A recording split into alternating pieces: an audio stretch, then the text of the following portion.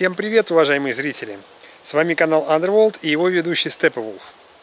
За моей спиной находится уникальный памятник архитектуры. Усадьба петербургского архитектора по фамилии Хренов. Да-да, ничего не подумайте, это действительно такая фамилия.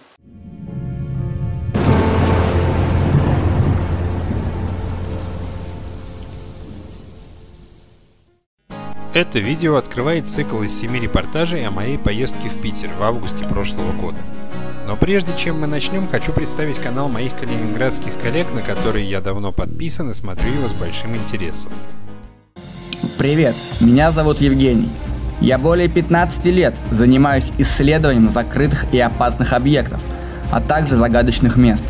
Я побывал на суровых локациях. Для этого нам пришлось провернуть головокружительные аферы – в этом проекте я покажу самые удивительные локации, недоступные простым смертным, от посещения которых кровь стынет в жилах, и каждый визит в которые может стать последним. Это мое испытание на прочность, один на один с каменными джунглями города. Проект Кёник Диггерс. Усадьба находится на полдороге между Москвой и Питером, а недалеко от города Балагоя. А, я очень давно собирался сюда выбраться, но на самом деле мне некоторым образом, можно сказать, не повезло. Потому что за то время, а, за которое я собирался сюда приехать, а, усадьба лишилась нескольких очень интересных своих деталей. Во-первых, внутри находилась чугунная лестница, которую спилили, и вполне вероятно, что спилили ее на металл. Хотя с точки зрения дизайна этой лестницы, ее грех было пилить на металл. И э, здесь еще стояло несколько скульптур. А в советское время в этом э, здании, в помещении усадьбы, располагался туберкулезный санаторий. И, как водится в подобных э, учреждениях советских, э, на территории очень часто ставили самые, самые разнообразные скульптуры, типа девочки с мечом, юноши с веслом, пионеров и так далее. И вот такого плана как раз скульптуры находились, а, расположены были в парке недалеко от усадьбы. Усадьба была построена на рубеже 19-20 веков в отдалении от города Балакоя в тихом уединенном месте на берегу красивого озера. Главное здание усадьбы выполнено в стиле эклектики и сочетает в себе разновеликие объемы, среди которых доминантой является трехэтажная башня, увенчанная острым куполом. В качестве строительного материала было использовано сочетание кирпича и природного камня, что еще более подчеркивает необычный облик здания. Хозяином усадьбы был знаменитый петербургский архитектор Александр Сергеевич Хренов. Скорее всего, он же был и автором ее проекта. Он был дружен с царской семьей и построил дворец великого князя Николая Николаевича на Петровской набережной в Санкт-Петербурге. Хренов был главным архитектором Исаакиевского собора, а в общей сложности им было построено и перестроено более 30 домов в Санкт-Петербурге. В начале 20 века Хренов увлекся разведением лошадей и основал в 1904 году в своей усадьбе Заключье конный завод рысистых лошадей – по некоторым данным, он подписывался в тот период как конезаводчик Хренов. Вероятно, поэтому сейчас его усадьбу иногда называют усадьбой конезаводчика Хренова. После Октябрьской социалистической революции Хренов покинул Петербург и уехал на Дальний Восток, а позднее в Китай.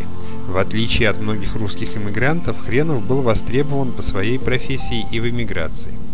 Он спроектировал несколько домов в Китае, позже работал в США – в 1925 году переехал в Париж. Александр Сергеевич умер и похоронен во Франции.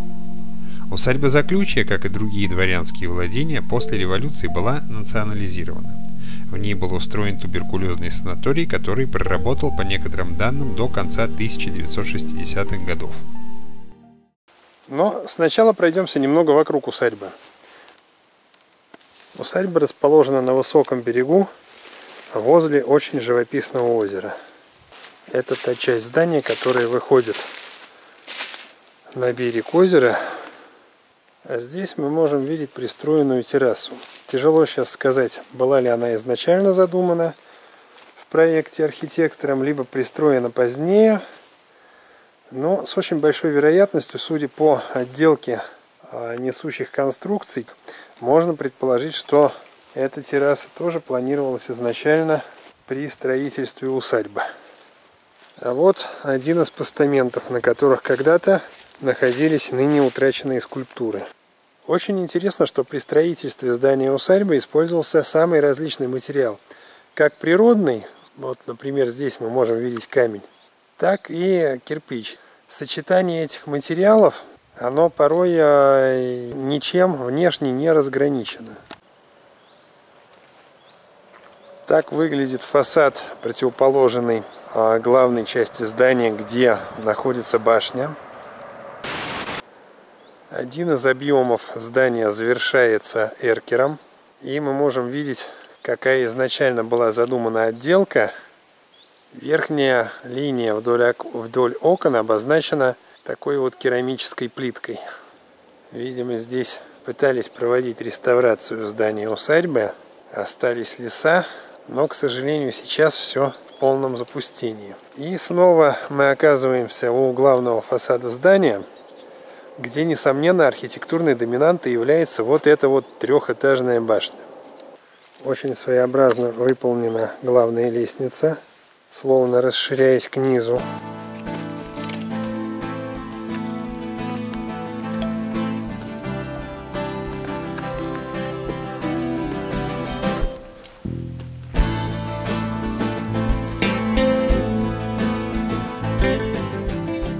Возле здания сохранилась опора для электрической проводки, еще деревянный столб с керамическими изоляторами.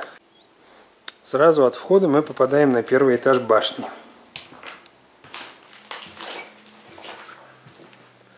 за которым следует большой зал, по периметру которого располагаются комнаты. И в первом же помещении меня встречает один из сохранившихся элементов, частично сохранившихся элементов дизайна этой усадьбы. Это печи, облицованные изразцами. К сожалению, и здесь мне не повезло, поскольку, судя по фотографиям, которые были сделаны в этой усадьбе буквально несколькими месяцами ранее, печи были еще практически в полной сохранности. А теперь а, куски изразцов можно видеть отбитыми, лежащими на столе. Мы попадаем в следующее помещение, большой зал. Здесь проходили какие-то сатанинские обряды, похоже.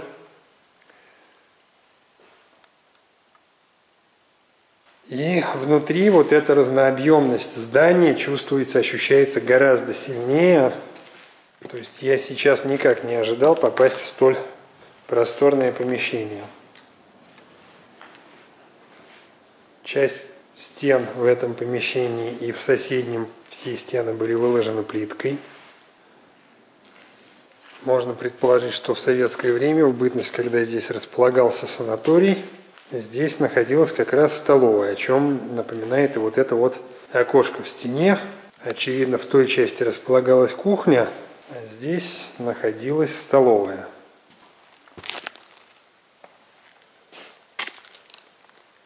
Конечно же, очень расстраивает удручающее состояние самого здания.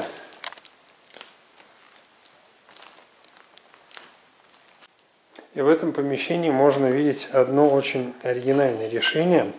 Здесь была выстроена стена, разделяющая комнату на, на две неравных части. А стена явно была выстроена уже в советское время, но что интересно, попасть вот в эту часть, в которой находится колонна – Откуда сюда попасть, можно было тяжело сказать, то есть вход сюда вообще не был предусмотрен. После возведения вот этой стены, возможно, здесь был какой-то переход, типа лестницы, тяжело сказать. Очень необычное решение. А вот еще одно маленькое помещение, которое было когда-то заделано перегородкой и вела сюда лестница, частично разобранная, частично сломанная. Остальные помещения первого этажа тоже абсолютно пусты. И также мы здесь видим, что из прежнего декора, из прежней отделки, к сожалению, ничего не сохранилось. На лестницу на второй этаж вели две симметричные двери. Но сначала я пройду в помещение, располагающееся за лестницей, дабы осмотреть уже весь первый этаж. Ну а в этом помещении располагалось заведение первой необходимости.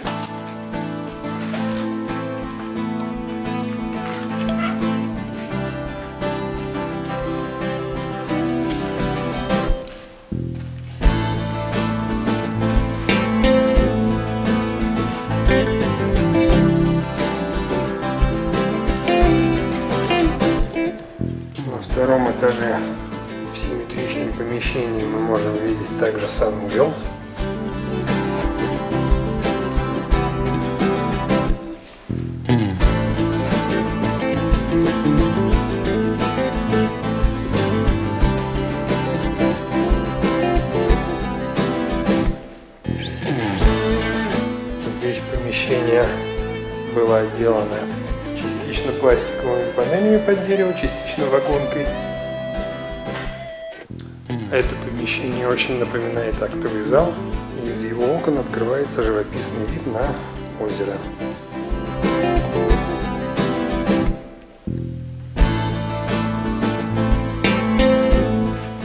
Интересно, что здесь даже не были спилены трубы.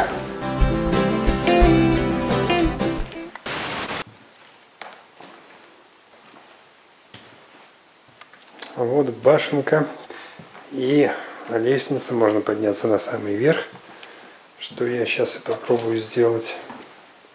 И вот так выглядит самое верхнее помещение в этой башне с тремя круглыми окошками. На втором этаже симметрично первому мы можем видеть такую же печь, выложенную уже немножко другими изразцами. Тоже, к сожалению, изразцы сохранились лишь частично. В советское время они были покрашены в столь любимую в советских учреждениях зеленую краску. Вот здесь очень похоже по планировке и по отделке находились палаты, в которых отдыхали больные. И здесь же мы видим проход на чердак. Интересная вилка с деревянной ручкой.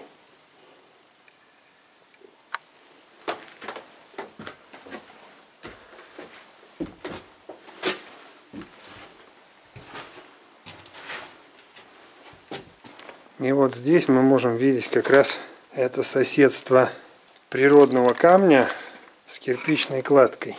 Очень необычное архитектурное инженерное решение. Здание, кстати, было с центральным отоплением.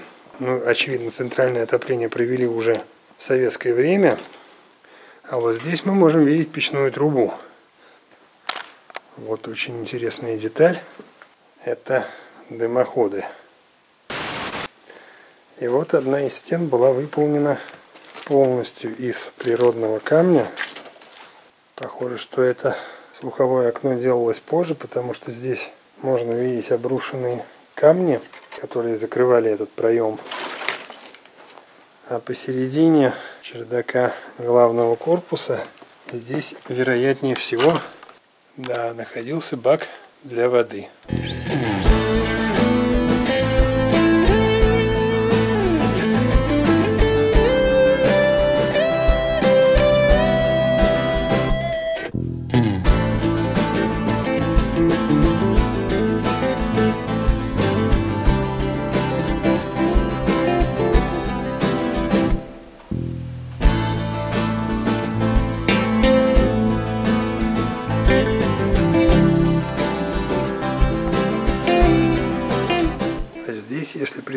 Присмотреться, можно даже видеть, как летают пылинки в солнечном свете. На чердаке можно видеть старинную запорную арматуру. Предположительно, эти вентили могут оказаться даже старше советского периода. Хотя отчасти это сомнительно, поскольку в доме было печное отопление. А вот передо мной башня, сложенная из кирпича, и выход на крышу. Сразу интересно сказать, что крыша здесь сделана, кровля свежая. То есть все-таки какой-то реставрацией этого уникального здания занимались в последнее время. И вот я на вершине усадьбы Заключья. Или, как местные говорят, Заключье. Собственно, название усадьбы пошло, очевидно, от названия местности. А название местности происходит от слова местность, которая находится за ключом, за родником. Скорее всего, именно так образовался этот топоним. Интересно, что верхняя часть башни тоже была отделана такой же плиткой сейчас уже утрачены частично. На этом я покидаю усадьбу заключения. Но это еще не все. Дело в том, что здесь в округе находится несколько старых заброшенных домов, деревенских домов. И вот там как раз можно найти кое-что интересное.